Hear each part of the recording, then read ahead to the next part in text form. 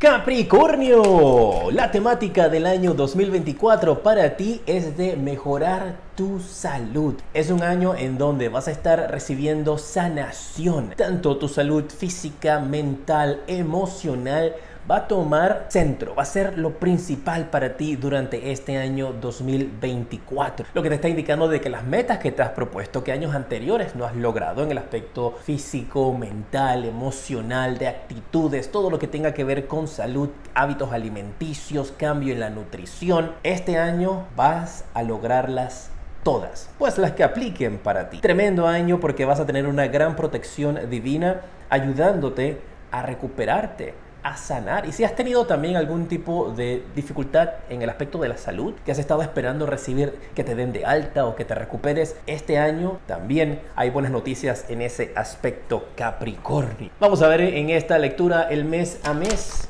que viene para ti, cuál es la guía para que logres el éxito durante todo este año. En enero tienes la carta de la estrella. ¡Qué belleza!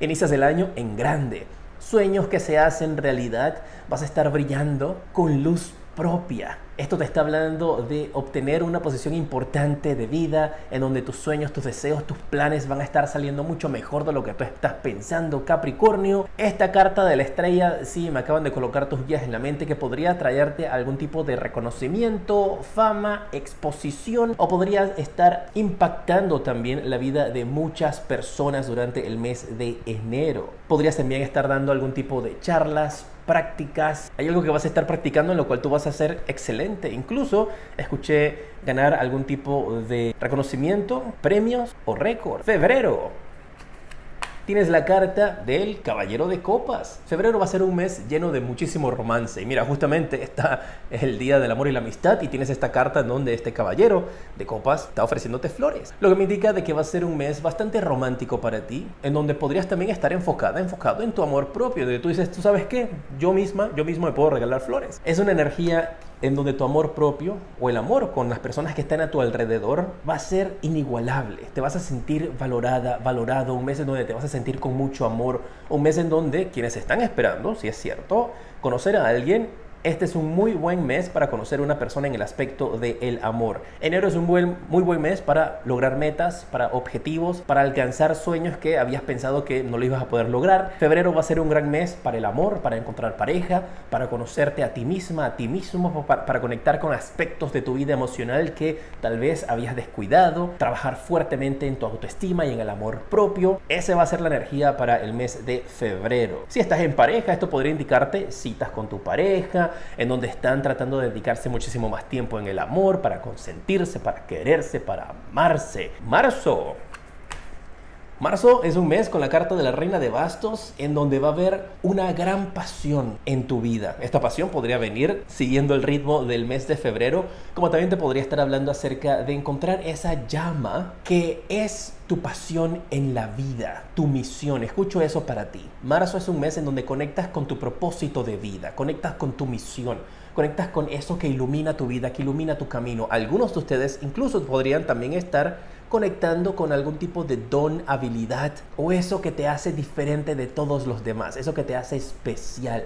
Esta es una energía de mucha fuerza, de muchísima atracción, donde emocionalmente, tanto por dentro como por fuera, la gente que está a tu alrededor va a sentir como algún tipo de atracción hacia ti, un carisma. Muchas miradas encima de ti durante el mes de marzo, muchas energías pendientes de ti por la atracción. Abril, Tienes la carta del rey de copas. Uy, uy, uy. Reina de bastos y ahora el rey de copas. Abril es un mes en donde tú vas a estar venciendo la tormenta, terminando un momento de dificultad a tu alrededor, encontrando la paz la paz interna, la paz a tu alrededor. Siento una energía también a tu, a tu, alrededor así bastante estoica, en donde no te vas a ver afectada ni afectado por las cosas que estén sucediendo a tu alrededor. Te vas a mantener como de una manera neutral. Acabo de escuchar sin sentimientos, pero me lo están indicando de una manera en la cual eso se refleja de que no te va a afectar las cosas que otras personas digan, que hagan. Y este va a ser un mes en donde tú vas a estar como que bien centrada, bien centrado, muy fuerte. Y eso te va a permitir a ti el poder estar en control de tus sentimientos, de tus emociones. ¡Qué energía! ¿eh? Todo esto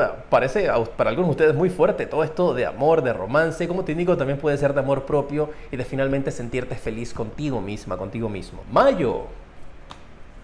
Tienes la carta del 8 de espadas. Mayo es un mes en donde es importante tener control de tus visiones, porque algunos de ustedes podrían estar viendo cosas, sintiendo cosas que otros a tu alrededor tal vez no puedan percibir. Por eso me indican, ten precaución de tus visiones, de las visiones que se te puedan estar presentando, de la percepción que tú tengas. También tú podrías estar sintiendo la energía de las personas que estén a tu alrededor, pero es algo que solamente puedes ver tú, los demás no lo ven. Con eso eh, te están indicando de que el mes de mayo entonces es un mes en donde tienes que dejarte guiar por tu intuición, por tu sexto sentido, que va a estar muy bien afinado. Uy, mira, también me están indicando tus guías con esta energía, si te fijas, ella en el espejo siente algún tipo de preocupación, pero a su alrededor no ve nada.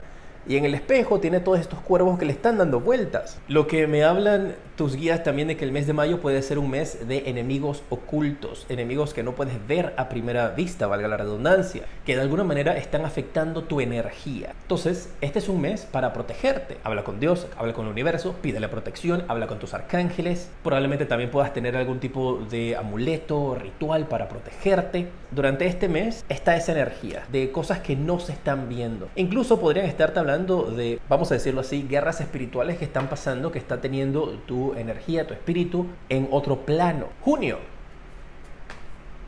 Tienes la carta de la reina de copas. Uh, rey de copas y ahora la reina de copas. Esta sí es la pareja divina, esta es la alma gemela esto te está hablando de que en el mes de junio tú superas todas estas dificultades. Te podrían estar enviando energías para tratar de confundirte, para tratar de distraerte, para tratar de hacerte sentir mal contigo misma, contigo mismo, pero tú todo eso lo superas porque en el mes de junio tienes la carta de la reina de copas. Y fíjate que esta carta, donde alguien está viendo cosas que no existen, está entre el rey de copas y la reina de copas, lo que podría significar de que alguien quiere separarte de una persona importante en tu vida. ¿Quién es esa persona importante en tu vida? Puede ser pareja, puede ser un amigo, una amiga, puede ser un familiar Solamente, no todo es amor, no todo es romance. Puede ser un negocio, un socio, pero eso, esta persona que está tratando de intervenir, que está tratando de hacer estos ataques para separarte de alguien importante, no lo va a lograr.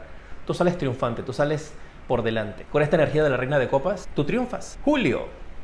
En el mes de julio tienes la carta del el 6 de espadas. Mira, estos cuervos una vez más se hacen presente con esta energía, porque yo te estoy viendo con esta energía en el mes de julio que tú tomas la decisión de alejarte de un lugar pesado, de un lugar tóxico, emprender un nuevo camino, dirigirte hacia aguas mucho más tranquilas, cambiarte de lugar, cambiarte de trabajo, cambiar de ciudad, cambiar de país, alejarte tal vez de esta persona que descubres en el mes de mayo, que ha estado interviniendo y está ese proceso como de distanciar. Julio es un mes en donde tomas distancia de algo, de alguien o de un lugar. Y esta distancia que vas a estar tomando va a ser la clave del éxito para mantener tu paz interior y para poder seguir avanzando en tu propósito de vida. Agosto, tienes la carta de el as de espada. Un mes de muchísimo pensamiento, un mes de conectar con la mente. Esta carta del as de espadas también te habla de triunfos, te habla de victorias, te habla de encontrar claridad. Entonces agosto es un mes en donde podrías también estarle dando muchas vueltas a ciertas cosas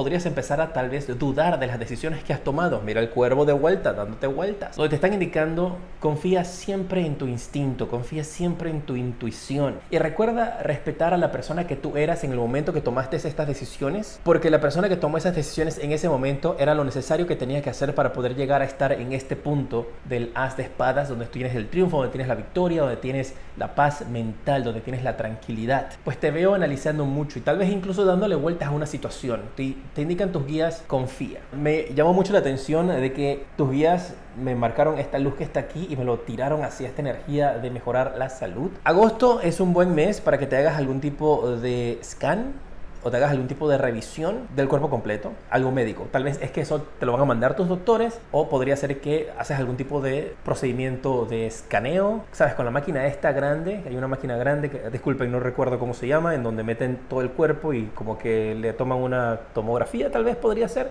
Bueno, en el mes de agosto hay algo con eso que tal vez tú lo vas a, te lo, tú lo vas a solicitar o te podrían estar eh, enviando algún tipo de examen completo durante este mes y tu salud va a estar mejorando con respecto a eso. Para algunos de ustedes también veo algún tipo de procedimiento médico para hacer algún tipo de extracción de algo en tu cuerpo durante este mes. Lo importante es que estas energías te indican de que la salud mejora y esta carta conecta directamente con la carta de la estrella. Si esto es algo que ya tú sabes, que es una posibilidad de que tengas que pasar por ese procedimiento, entonces esto es la confirmación que te lo está marcando aquí. Septiembre.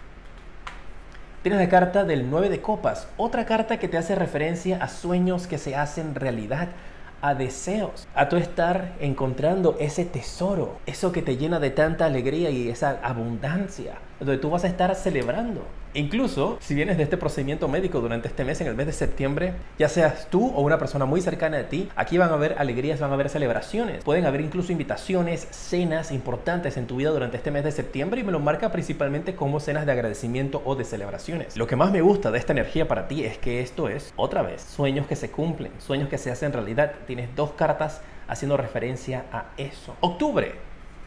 En el mes de octubre tienes la carta de la muerte y el renacimiento. Esto te indica de que una etapa en tu vida termina e inicia una nueva. Si este procedimiento médico en el mes de agosto tiene que ver con algo tal vez con tu salud física, algún tipo de procedimiento que vas a estar haciendo para tal vez estético, puede ser un procedimiento estético, recuerden siempre atenderse con profesionales, por favor. No se estén atendiendo con nadie por ahí debajo de un palo de mango. Esto podría indicarte de que todo va a salir bastante bien y con esta energía de la muerte y el renacimiento, importante destacar que esta carta te refleja ambas, te podría estar indicando entonces de que eres una nueva tú, eres un nuevo tú, ¿sabes? En donde te sientes como renovada, renovado. Da ese momento de reinventarte. Y con esto una situación termina e inicia otra. Noviembre. En el mes de noviembre tienes la carta del 9 de basto. Es una energía que te habla de que, eh, apenas me vino, esto, me vino a la mente, ver los toros desde la barrera. En el mes de noviembre tú vas a estar viendo los toros desde la barrera, vas a estar viendo las cosas que estén sucediendo y tú vas a estar a la distancia, viendo las cosas desde otra perspectiva. Esto también podría ser referencia a que estás del otro lado, estás del otro lado de la cerca. Cuando venga el mes de noviembre eso va a tener mucha más claridad para ustedes. En estos momentos, eso de estar del otro lado del muro, estar del otro lado de la cerca, puede tener diferentes interpretaciones para cada uno de ustedes. Una de ellas es Incluso me marcaron así como la muralla china. Podría ser que estás en este lugar visitando. Para otros esta referencia no es de un lugar, sino es de un estado físico o mental, que estás desde la barrera viendo cómo se están suscitando ciertas cosas a tu alrededor. Me colocaron en la mente cuando le juego este, estos reality show así como de la selva, que las personas están experimentando algo así como nuevo en la selva, porque me llamó mucho la atención que este vasto ilumina. Eso podría ser alguna referencia a ustedes también de que vas a estar conectando mucho más con la naturaleza o incluso tal vez formando parte de algún tipo de reality. Podría ser también así. Diciembre. Cierras el año con la carta de la torre. Este es un año en el cual cuando llegue el mes de diciembre tú vas a estar sintiéndote completamente renovada, completamente renovado dejando algo atrás. Esa carta de la torre es una carta hermosísima en este mazo, en donde está indicando de que las cosas van a estar cambiando, de que se van a desmoronar las cosas que no están funcionando para que puedas tener entonces lo que funciona. ¿Sabes? Me colocaron una energía también como cuando hay una madera, está podrida. A veces están podridas por dentro, pero por fuera se ve así bonita. Entonces, esta torre que va a suceder en el mes de diciembre es para sacar lo que está podrido, que físicamente, mentalmente, emocionalmente a tu alrededor no se está viendo. Entonces, hay algo que no se ve que está podrido, que está dañado, que necesita ser cambiado que se va a revelar durante el mes de diciembre. Incluso esto me indica en tus guías también que podría ser como algún tipo de referencia a cómo tú podrías haber sentido el año para ti, de que se revelaron ciertas cosas que no estaban funcionando y que tuviste entonces que quitarlas de tu vida para poder ahora sí conectar al 100% con tus sueños, con tu luz, con tu misión. Me mantienes al tanto de decreto, mucha luz y progreso.